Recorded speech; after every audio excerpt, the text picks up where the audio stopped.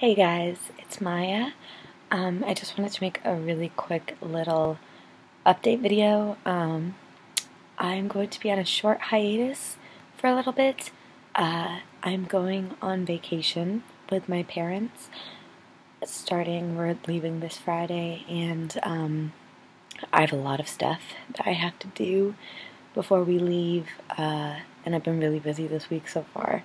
So I have not been able to make or plan um, a new video yet, and I won't be able to until we get back, which um, we're coming back December 2nd.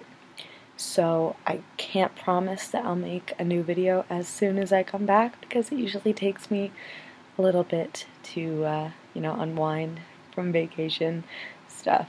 But um, I will provide new content to my channel as soon as I can.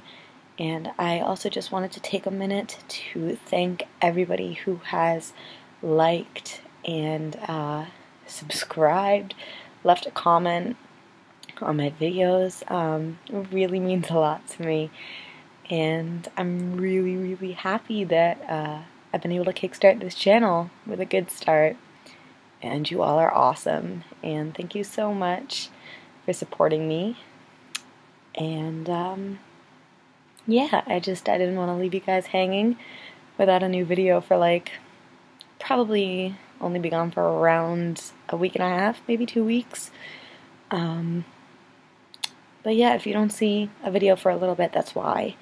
And uh, I can't wait to make some new content soon, so look out for it. And I will see you guys soon. Thank you a bunch. Bye.